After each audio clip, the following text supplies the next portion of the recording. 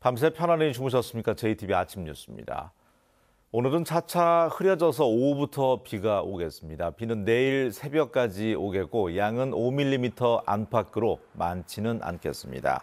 아침 최저 기온은 무주와 임실이 영하 4.6도, 전주 영상 1도로 14개 시군 모두 올가을 들어서 가장 낮은 기온을 기록했습니다.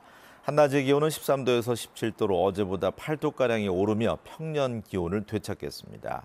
휴일인 모레와 월요일에는 기압골의 영향으로 비가 오겠고 수요일과 목요일에는 반짝 추위가 찾아오겠습니다. 익산 장전마을의 집단 암 발병은 마을 인근 비료 공장에서 비롯됐다는 최종 용역 결과가 나왔습니다. 비료 공장의 불법과 행정기관의 부실한 관리 감독이 빚어낸 인재였다는 결과를 내놓았습니다. 김진영 기자입니다.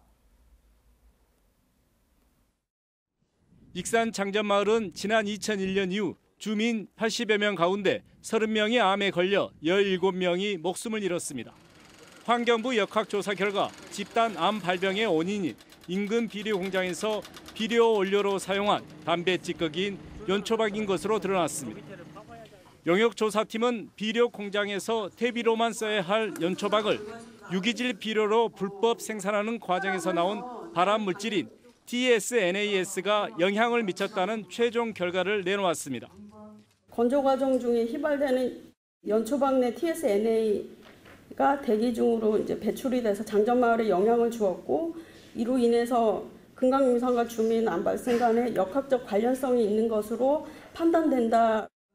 TSNAS는 담배 찌꺼기에 함유된 1급 발암물질로 간암 등 각종 암을 일으키는 것으로 알려졌습니다. 또 익산시가 2015년 비료 공장이 연초박으로 유기질 비료를 불법 생산하고 있다는 폐기물 실적 보고서를 받고도 묵살해 피해를 키웠다는 지적이 나왔습니다. 환경부와 전라북도, 익산시는 총체적 부실 관리 감독을 인정했습니다. 저희가 그 행정에 관한 내용이 감사원 감사 결과 어떻게 발표될지는 좀 더 지켜봐야 될 것 같습니다. 주민들은 2009년부터 2015년 사이에 KTNG로부터 사들인 2,200톤의 담배 찌꺼기 때문에 많은 사람들이 고통을 겪고 있는데도 KTNG는 책임을 회피하고 있다며 비난했습니다. 환경 참사는 KTNG 사업장 폐기물인 연초박이 원인이다. KTNG는 주민들의 집단암 발병 사태에 대해 책임을 통감하고 공식 사과와 피해 대책을 마련해야 한다. 묻힐 뻔했던 집단 암 발병 원인이 20년 만에 가까스로 밝혀졌지만 장전마을 주민들의 깊은 상처는 아물기 어려울 것으로 보입니다. JTB 뉴스 김진영입니다. 전라북도 문화 콘텐츠 산업진흥원이 제작비 지원 사업을 하면서 부실한 관리 감독으로 예산만 낭비한 것으로 드러났습니다. 어떤 사업은 한 차례도 시연되지 않았고 납품도 하지 못한 사업에 제작비가 지원되는 등 황당한 일도 벌어졌습니다. 이승환 기자가 취재했습니다. 문화 콘텐츠 산업진흥원이 민간업체 8천만 원을 지원한 콘텐츠 테라피 프로젝트입니다. 경기전 영상에 미술품 사진을 겹쳐 투사하는 콘텐츠로 도립미술관에 설치할 예정이었습니다. 하지만 이 작품은 지난해 3월에 납품된 뒤 미술관 측이 완성도가 부실하다며 시정을 요구했고 지금까지 단 한 차례도 시연되지 않았습니다. 문제는 이후에도 진흥원이 해당 업체에게 또 다른 4건의 사업에 대해 2억 4천만 원을 지원해줬다는 겁니다. 추가로 어떤 콘텐츠 진흥에서 발주하는 발주 사업에 제약을 걸어서라도 이런 업체들이 적어도 돈만 먹고 가면 끝난다라고 하는 사고방식을 없애줘야 될 거 아니에요. 어떤 식으로 마무리를 할지를 저희가 이제 대안을 어느 정도 마련을 했고 그래서 지금 정리를 하고 있는 그런 상황입니다. 2억 8천만 원 가량이 지원된 은파 유원지 수중 3D 콘텐츠 개발 사업은 더욱 황당합니다. 프로젝터로 수면 아래 설치된 스크린에 이미지를 비추는 작품인데 비가 와 수위가 상승하자 현장 평가조차 하지 못한 뒤 방치돼 지금은 장비도 폐품이나 다를 바 없게 되었습니다. 이쯤 되자 1억 5천만 원을 댄 군산시가 지원금 반납을 요구하고 나서 사업을 주관한 진흥원 측이 해당 업체에 대한 법적 조치를 준비하고 있습니다. 문제가 있는 회사에 대해서 앞으로 공모 사업이나 시- 쉽게 얘기하면 또 어, 전라북도에서 발주하는 모든 사업에서 배제를 시킬 수 있는 태도가 필요하고 지난해 문화콘텐츠진흥원이 발주한 콘텐츠 제작 지원 사업은 모두 35건에 20억 원가량. 전반적인 점검과 함께 결과물에 대한 사후 관리도 대폭 강화해야 할 것으로 보입니다. JTB 뉴스 이승환입니다. 전주에서 출퇴근 시간대 가장 막히는 곳 가운데 하나가 서곡교와 홍산로가 만나는 지점입니다. 교통난을 해소하기 위해서 10년 전 다리 아랫길 언더패스가 추진됐지만 수달 보호를 이유로 무산된 곳입니다. 그 이후 교통난 해소책 논의는 중단이 됐고 교통 체증은 더욱 심각해졌습니다. 송창용 기자가 보도합니다. 출근 시간 차량들이 꼬리에 꼬리를 물고 늘어서 있습니다. 사방에서 차량들이 몰려들고 엉키면서 신호 한두 번에 사거리를 건너기란 불가능합니다. 많이 밀려요. 많이 밀리고 신호를 한 세 번, 네 번도 왔거든요. 특히 비 올 때 주말, 금요일 아우 지난 2010년 전주시는 교통체증을 해소하겠다며 홍산교와 서곡교의 다리 아랫길 언더패스 개설을 추진했습니다. 길이 900m에 폭 3.5m 규모로 예상 사업비는 15억 원이었습니다. 하지만 삼천에 사는 수다를 보호해야 한다는 환경단체 등의 여론에 밀려 사업은 무산됐습니다. 문제는 그 이후 아무런 대책이 세워지지 않고 있다는 점입니다. 서부 신시가지와 하가지구, 에코시티가 잇따라 개발되면서 10년 전보다 교통량이 크게 늘었지만 도로는 그대로입니다. 교통량 해소를 위한 노력을 안 했다는 것은 어떻게 보면 행정이 방치 방관했다는 거예요. 물론 아직도 underpass를 반대하는 목소리가 있습니다. 언더패스를 하면은 차량 통행은 좋을란지 모르지만 이 편한 사상 사람들이 왔다 갔다 하는 통로는 불편이 와요. 그러나 전주에서 교통난이 가장 심각한 지역을 언제까지 그대로 놔둘지 이제는 찬반 주장을 아우르는 교통대책을 서둘러 마련해야 한다는 목소리가 설득력을 얻고 있습니다. JTB 뉴스 송창용입니다. 어제 전북에서도 61개 고사장에서 수능 시험이 큰 사고 없이 치러졌는데요.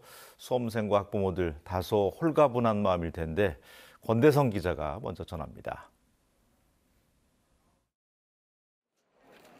3년의 노력을 쏟아부은 수험생들이 시험장을 나섭니다. 발걸음은 그 어느 때보다 가볍고 얼굴은 밝아 보입니다. 결과를 떠나 최선을 다했고 이제 끝이라는 마음에 후련합니다. 힘들었는데 과정이 그래도 시험 끝나서 너무 홀가분하고 좋은 것 같아요. 뭐 결과도 중요하지만 그래도 끝났다는 게 너무 좋고 해방돼서 기쁘고 미용실 가서 파마도 하고 싶어요. 함께 마음 졸인 학부모들도 수험생들을 안아주면서 모처럼 편안한 마음입니다. 제가 얘기를 길렀어요, 얘기를. 그런데 벌써 이, 그냥 이렇게 마지막 시험이고 아주 그냥 그렇기 때문에 뿌듯하고 감회가 새롭습니다.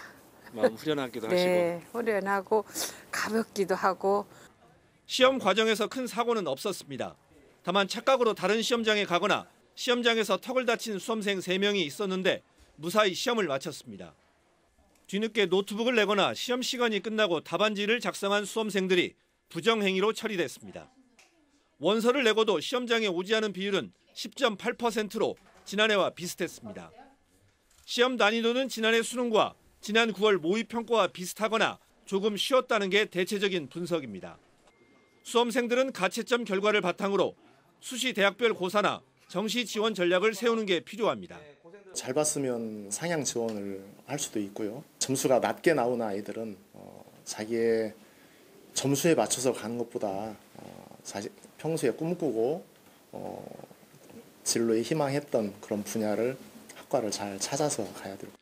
한국교육과정평가원은 다음 주 월요일까지 이의 신청을 거쳐 오는 25일 정답을 확정한 뒤 다음 달 4일 성적을 통보합니다. JTB 뉴스 권대성입니다.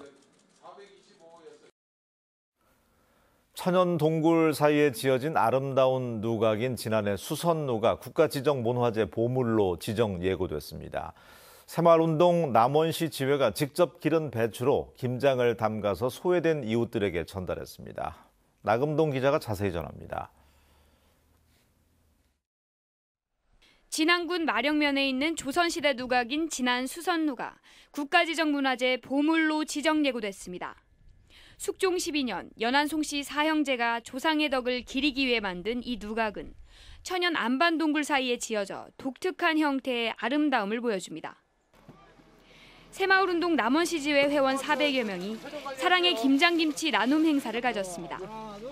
회원들은 사흘 동안 직접 기름 배추 3,500포기를 수확한 뒤 김장을 담가 23개 읍면동의 소년 소녀가장, 홀몸 어르신 등에게 전달했습니다.